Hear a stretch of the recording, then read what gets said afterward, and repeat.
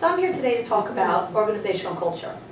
It's a set of beliefs and values, assumptions, norms, even ceremonial activities that a company will do or an organization will do to help guide the employee's behavior and performances. I'm going to go ahead and discuss how the art of war can be related to the organizational culture. So, we have moral law, and that's going to give you a complete set of rules to keep the soldiers, the troops, and everybody in harmony with the leader, as opposed to keeping your boss happy and following their rules. Then we have heaven, which talks about the day and the night. Well, that's really keeping, knowing your environment, especially the people that you interact with.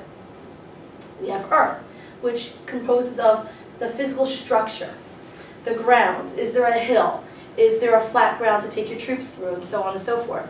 That's really associated with the risk factor and your personal decisions you make for the company. Then we have the commander. Is he virtuous? He has wisdom, sincerity. He always puts the troops first. Well, that's kind of like saying you have to know your manager. What is that manager's manager style? Once you know the manager's style, you know the manager and you know how to pursue the activities that you want to get done or accomplish the task at hand.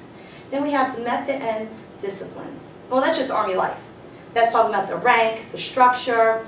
Do we have what is needed to achieve the mission? Do we need another SUV or a Hummer? Do we have enough ground troops? Do we have food to feed those troops?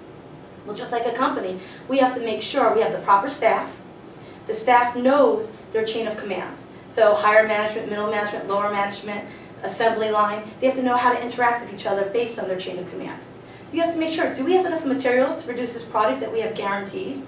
So we can take organizational culture and relate it to the art of war and our cultures. Let's go ahead and talk about something I actually know about. Let's talk about the Army versus pro wrestling. And as you see from the photos, I know a little something, something about that one. So, we're going to look at the art of war, and we're going to compare it to the Army and the pro wrestling. So, where we had the moral law, well now with the Army we have rules, structure, and you need to have these rules and structure for success. But with pro wrestling, no who's signing your paycheck and do whatever they ask for. There's not many rules and structure. It's what does the promoter want? Get the job done. Now we have the heavens. Well, once again, that's talking about what is your rank and the environment that you're going to be working in. So your rank will determine whether or not what you can and cannot do. And whatever your specialty is will determine what you can and cannot do. Where with pro wrestling, it's kind of like, if you're popular, then you're going to make a great living with it. Because the more popularity you have by the fans, that's more money getting put into the promoter's pocket. That's all you really need to worry about. So as you can see, with armies, a lot of team building and uh, cohesion, you have pro wrestling, which you're really independent. That's why you're considered an independent contractor.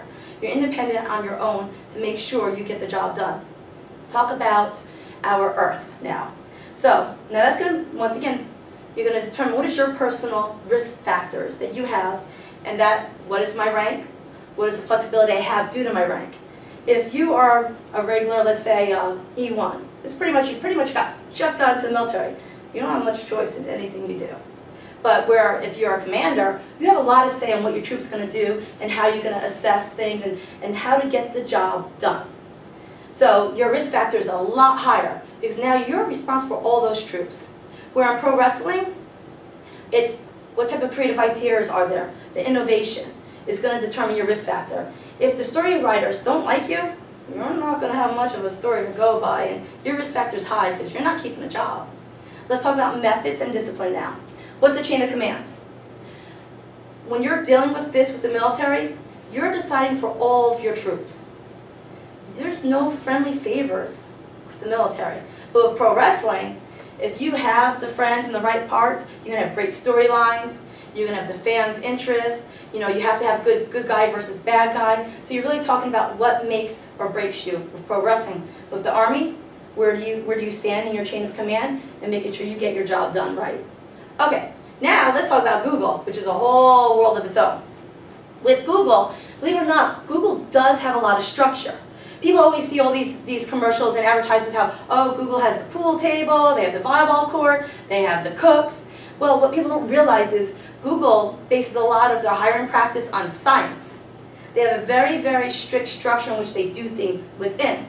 Granted, you are allowed to think outside the box. You can be so far outside that box, nobody even sees you. That's how far outside the box you can think and get your job done. But you do have to remember that during the hiring process and throughout the structure of Google, there are rules and regulations just like any other culture. So the hiring process is done by a team. Google really works as a team, where they're not independent person like pro wrestling. Kind of a team like the military, but not all those strict rules. They take care of their people. They believe that even though they have middle management and upper management, everybody talks. They don't label people, it's an open door policy. They talk very freely and can express and can get in very heated arguments. Google also has certain incentive packages where people can earn stock and shares, which gives them a, a great self-worth for the company and makes it promote. And if you fail on something, that is totally fine. That just lets Google know where they have to improve what they do. All right, so what are we saying here? Google does have a really, really tough hiring practice with many people involved, but they're never independent. So here I gave you a couple of different types of organizational cultures. Now ask yourself, what is your organizational culture at home? Even your own household has their organizational culture. They could be pertained to any part of your life. Thank you.